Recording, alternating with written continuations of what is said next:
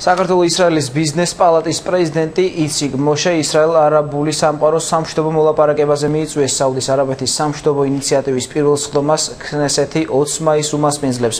ფორუმზე მიწვეულები არიან გავლენიანი პოლიტიკური ფიგურები, არაბული ქვეყნების ელჩები, საზოგადოებრივი მოძრაობისა და მთავრობის წარმომადგენლები.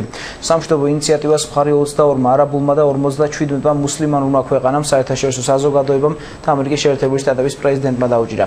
მიუწეთ შანსი მშვიდობას ეს იქნება მთავარი მესიჯი, რაზეც ბიზნეს პალატის პრეზიდენტი ციკ მოშე ისრაელში დაგეგმილ სხდომაზე ისაუბრებს.